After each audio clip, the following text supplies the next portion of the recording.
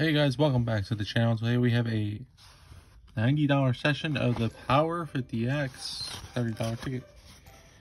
Last three of the book here from, from my number one store, which is the liquor store.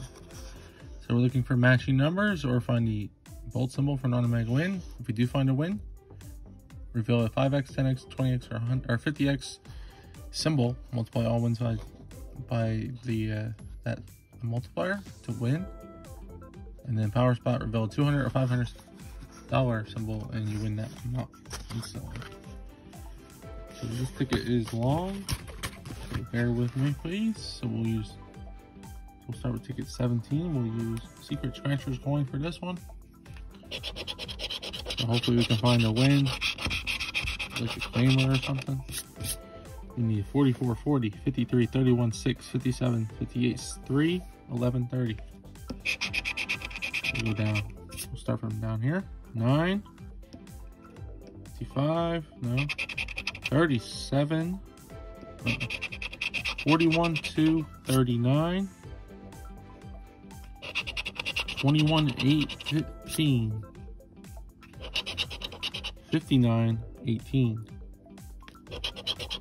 35, 47, no, 34, 13, no, no. 1742. Nope. 2916. 2343. No. 24 and 36. 4 and 12. Nope. And the last three. 1960 and 26. Nothing. Now let's check the power spot cycle, check, ring, and pick rank, and the multiplier was a 10x. So starting off on the lost column, not what we want. Ticket 18, we're to use Scratching and Harmony Claimer coin. Let's check the power spot first. Cycle, camper, bank, check. No power spot win. We need a 45, 34, 33, 17, 28, 21, 53, 51, 60, and 57. 19, 26, 35, and 7. Nope. 41, 3, 25. Nope. 12, 1, 22. Nope. 9, 30, and 4. 43, 55, and 2. Still nothing. 37, 58, 16. 32, 47, and 46. Nope. 44, 15. Nope. 8, 56, 48. And the last numbers 36, 54, and 13. Oh. And the multiplier would be 50x. Okay, well, unfortunately that did not come through.